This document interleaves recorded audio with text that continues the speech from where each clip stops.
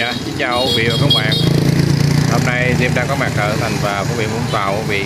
À, Đường này là đường Bình Giả quý vị. À, Thì Diêm đang đứng trước khu vực ở cái đường vào của cái à, khu chung cư gọi là khu chung cư Bình An. Ở đây đường Bình Giả quý vị. Thì đây là cái à, cái, cái đoạn đường à, Bình Giả phía trước của chung cư. Và Dạ đây là cái cảnh à, đường vào quý vị. Thì ở đây có cái khu chung cư tên là Bình An nè cư Bình An của ờ, Odeco là công ty cổ phần phát triển nhà Bà Rịa Vũng Tàu thì cái khu này ờ, nó nằm trong cái khu là, đồi 2 thuộc phường 10 ở ờ, thành phố Vũng Tàu quý vị. Bây giờ em sẽ đi khu, xem cái khu biệt thự biệt thự đồi 2 phường 10 nhé thì khu này được quy hoạch là khu biệt thự quý vị.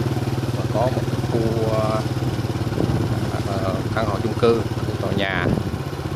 Đây xin mời quý vị đi xem cái uh, khu biệt thự uh, đồi hai Vũng Tàu quý vị có quán dê nè dê Hương Sơn.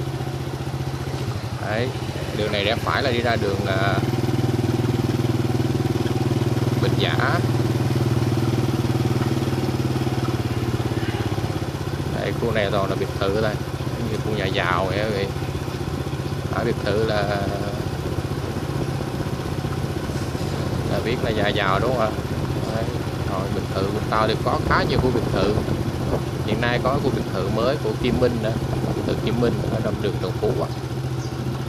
Đây à, bây giờ đi xem vài cái à, ngôi nhà ở khu biệt thự đồi 2 à, vì thế toàn nhà biệt thự thôi. Biệt thự à, nói vui là bự thiệt á. Mà đúng là biệt thự thì bự thiệt à, đây vì đây chỗ này thì à, đây là khu vực liền kề nhà liền kề.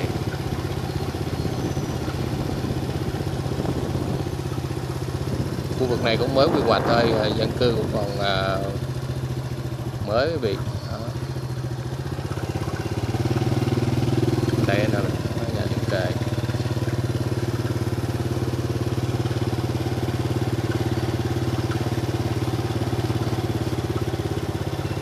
Đây rất là nhiều những cái nhà đẹp quý vị đang xây dựng nữa nè. Nhà biệt thự. Khu này thì à, là quy hoạch cho nên là xây dựng thì các cái tòa nhà giống giống nhau.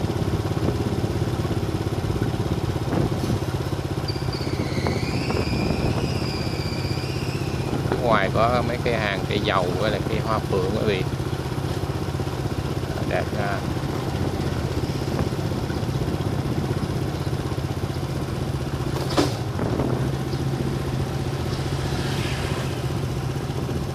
Đây, đường này đường số 5, đường số 9 nè quý vị.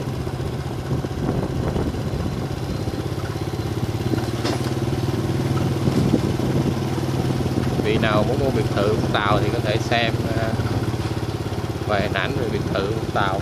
Khu này là khu phường 10 thì có nhiều phường lắm. Đây là tùy sở thích chúng ta có thể là vị thích cái nhà kiểu gì ở cái phường nào cảnh phường 10 nó đẹp quý vị đây tòa nhà biệt thự đây